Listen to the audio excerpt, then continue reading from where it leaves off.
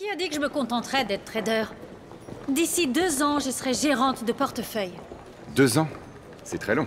Ça pourrait arriver bien plus rapidement. Qu'est-ce que vous en savez? Je suis gérant de portefeuille. Et je t'ai vu travailler. Tu ne prends jamais de notes et tu n'utilises pas de calculette. C'est bien. C'est tout ce que vous avez remarqué?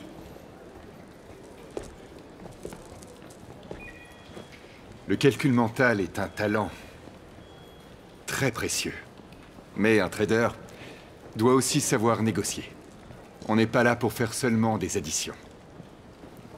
Dis-moi, qu'est-ce que tu penses de Kazima Shipping? Ça fait six mois que ça ne bouge pas. Il vaut mieux attendre encore un peu. Et qu'est-ce qui te pousse à dire ça? Kazima envoie du pétrole dans tout le Golfe.